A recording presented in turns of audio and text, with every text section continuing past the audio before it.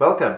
In this video I'd like to discuss the difference between an SS3P and an SS3. What I'm going to explain now also applies to the SS2P and the SS2 as well as the SS4P and the SS4.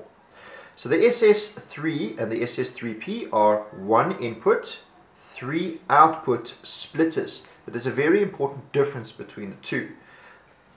If you look at our three-way splitter, the signal comes in, whether it's an RF signal or an IF signal, so whether it's from a modulator or from a satellite dish on an LNB. But the DC flows only from this output port here back into the splitter through to the LNB.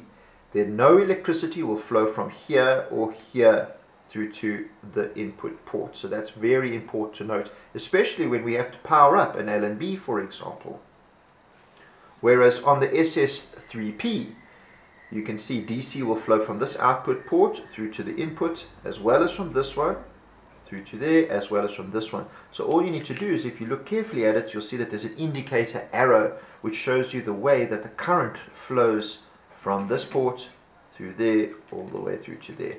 So they look similar, but they do two completely different things when it comes to how the current will flow through this device. If you have any questions or comments or you need some help, please feel free to get in touch with us. We'll do our best to help you.